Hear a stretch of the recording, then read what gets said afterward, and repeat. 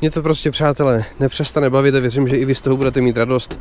Už jenom okamžik, kdy s touhle technikou si tady přeparkovávám.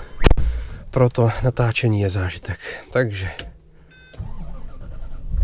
Vum. Tohle mě prostě baví. Tak, Erko,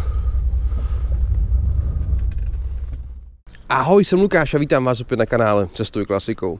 Jak jsem pár dní zpátky eh, avizoval, tak se podíváme na YouTube kanále na několik velmi zajímavých importů z Japonska, na několik velmi zajímavých youngtimerů, které byly dovezeny sem do České republiky, zaregistrovány tady do provozu na české značky a jsou tady kousek Ostravy připraveny na prodej. V dnešním díle, přátelé, a to se podržte a doufám, že pevně sedíte a že si to se mnou náležitě užijete, se podíváme na Bentley Turbo R.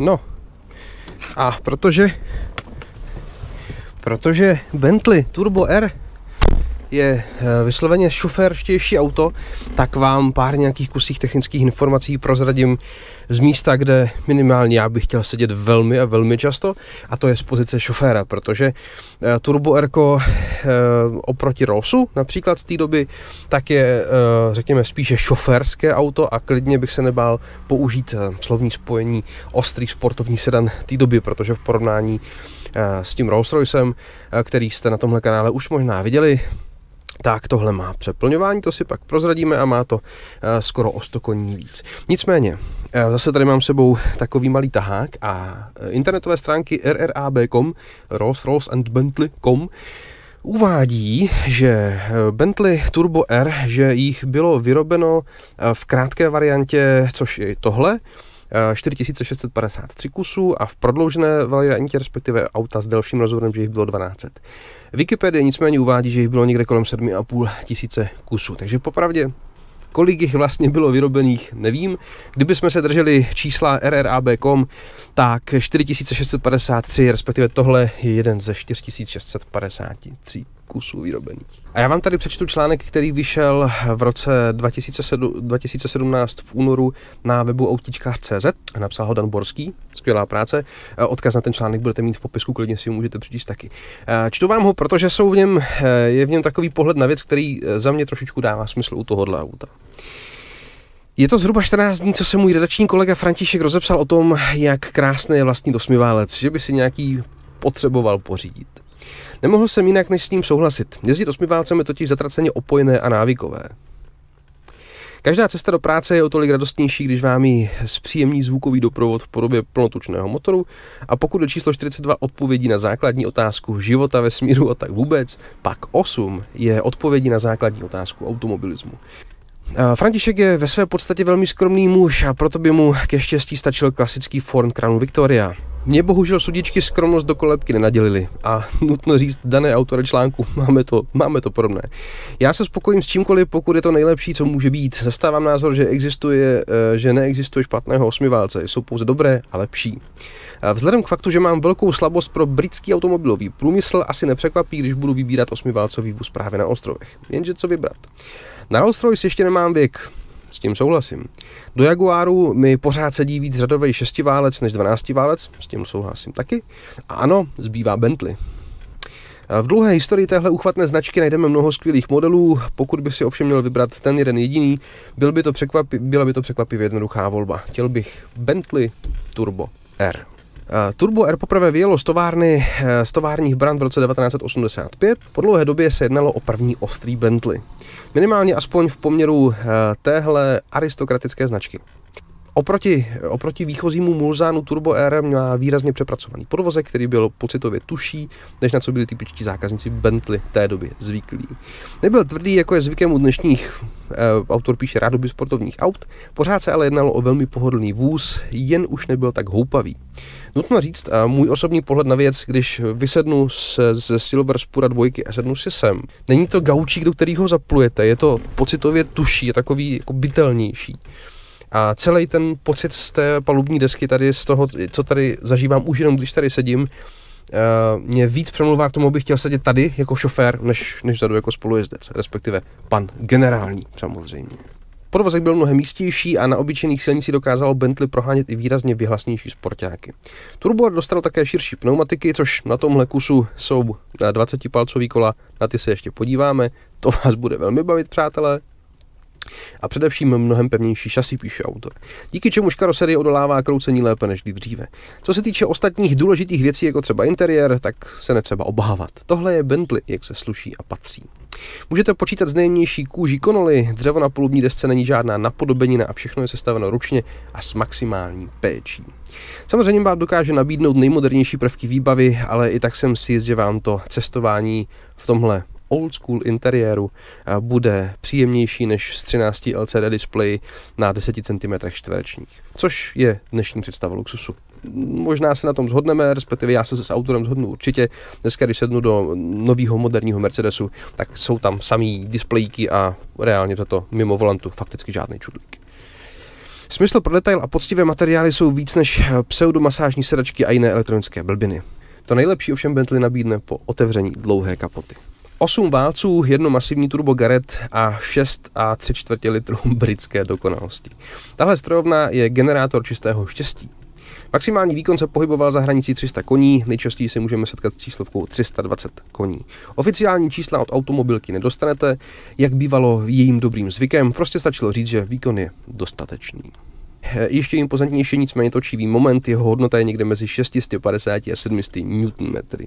Pohná jednotka Turbo Air by se nestratila ani jako srdce velké lokomotivy. Na stovku Bentley dokázalo odsprintovat za méně než 6,5 vteřiny, což mimochodem uh, Rolls-Royce Silver Spur uh, s osmi válcem atmosférickým, do kterého vychází, má zrychlení 10,6.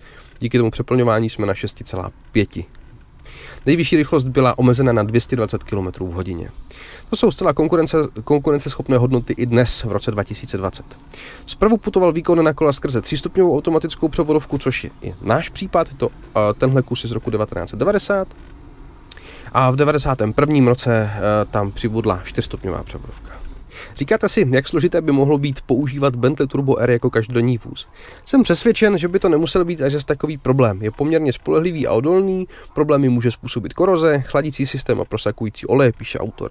Doporučuje se také koukat spíše po motorech se vstřikováním Bosch, které e, jsou od modelového roku 87, což je náš případ. Případné poruchy bývají snadno řešitelné, nebo se jedná o celku jednoduchý stroj. Problémem ovšem zůstává cena náhradních dílů, která je extrémně vysoká. A nutno říct, že nesedíme v Octavii, ale je to prostě Bentley. Spotřeba se údajně pohybuje mezi 13 a 20 litry na 100, což může každodenní eh, provoz trošku prodražit, ale provozovat to lze. No, Bentley Turbo R. Mimochodem, přátel, mám pro vás tajný tip, eh, protože tenhle ten konkrétní exemplář, který je v České republice na českých značkách už zaregistrovaný a je na prodej, kontakt na pana majitele máte v popisku, tak uh, doporučím, pokud náhodou máte ambici takovýhle kus vlastnit, tak se podívejte do uh, západních inzercí, protože v České republice nepletuli se, tak levostraná Turbo R na prodej není žádná mimo tohohle kusu. Teď si zalistujte na mobile DE a já vám prozradím, proč o tom vlastně mluvím? No a proč o tom mluvím? Když se podíváte do všech možných inzercí, tak zjistíte, že tyhle ty auta se distribuovaly v naprosté většině ve stejných nebo velice podobných barevných provedeních jako Rollsy té doby. Tmavě šedá, tmavě hnědá, tmavě zelená, takové vlastně něco podobného, jak je třeba tohle, klidně řekněme. No ale v té bílé a ještě na těch 20 palcových kolech Snad mi to odpustíte, ale v tomhle provedení to auto vypadá vysloveně šibalsky. Já mám neuvěřitelnou chuť do toho fakt skočit a udělat si z toho civilní mašinu. Oproti tomu Rollsu, kde bych se nejradši vozil spíš jako pasažér, tak tohle bych hrozně rád sedlal. Mně nenapadlo lepší eh, přídavné jméno pro tento aristokratický sedan než šibalský. Pište mi do komentářů, nakolik jsem se zbláznil nebo ne. Já vám teď ještě ukážu to srdíčko, o kterém před chvílí jsme mluvili, respektive o kterém se zmiňoval i autor toho článku, co jsem vám před chvílí citoval. Zase ovládací táhlo na odišťování kapoty na stejném místě jako u Rollsu, to znamená tady za zmínku stojí emblem McB a tady Corns. K tomu se za chvíličku dostanu. Teď se ale, přátelé, pojďme nejdřív podívat sem. Haha. Ano, Bentley, jak má být, vstřikování Bož vidíte, ale obejdu vám to obejdu vám to, přátelé, z druhé strany, protože, protože mimo podpis Bentley, Bentley Turbo, tak ano, tady je takový drobný turbo. O jeho velikosti si můžete udělat obrázek. Tohle je iPhone X. Takže je to skutečně pořádná příšera. No a díky němu, díky tomuhle turbu, to má fakticky o necelých 100 koní víc než uh, Rolls-Royce, respektive než tohle auto, kde ty motory jsou fakticky stejný až právě, až právě na to turbo. Tenhle ten exemplář Bentley Turbo R z roku 90 je na prodej v České republice, co jsem zapomněl zmínit v tomhle videu a ještě vám to ukážu, abyste to viděli na vlastní oči. Taky tenhle ten exemplář má velmi nízké kilometry. A ano, kilometry. Když se podíváme, tak je tam 90 věřím, že to vidíte, 90 tisíc kilometrů a je to taktéž vůz dovezený z Japonska. Přičemž v Japonsku se jezdí primárně na druhé straně podobně jako v Anglii, takže tam většina aut má volanty na druhé straně. A přestože i Bentley se produkovalo jako pravostránka, tak tenhle levostranný exemplář tam dovezli fakticky záměrně, protože o Japoncích se tvrdí, že i to, že volant mají naopak, takže to je pro ně jistá forma eh, luxusu. Ostatně eh, z pozice japonských, řekněme, signatur na tomhle voze je tady těch věcí víc. Eh, jak jsem zmiňoval ten kobereček, tak Korns je výhradní importér nejenom značky Bentley, ale i značky Rolls-Royce do Japonska. A dle informací, které máme, tak i tahle ta 20-palcová kola, mimochodem 255 R20, tak e, i tahle ta dělená kola jsou e, exkluzivně produkovaná pro Korns, pro toho dovozce a jsou primárně, říkejme, určena pouze pro japonský trh. No a poslední taková, řekněme, japonská věc na tomhle autě je tenhle ten drobný, skromný výfuk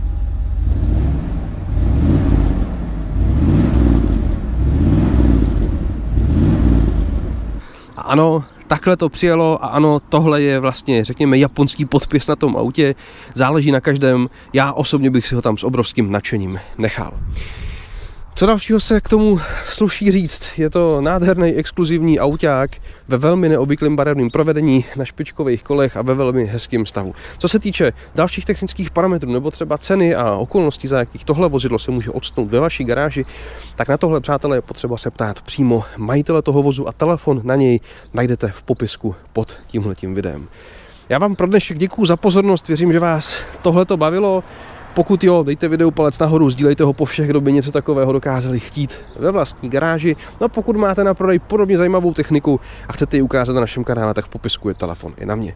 Mějte se skvěle, buďte zdraví a pokud to aspoň trochu jde, cestujte klasikou. Zdaric!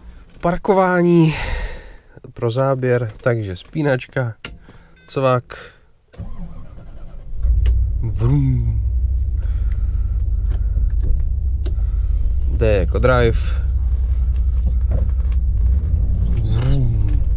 Jo, tak tohle je boží.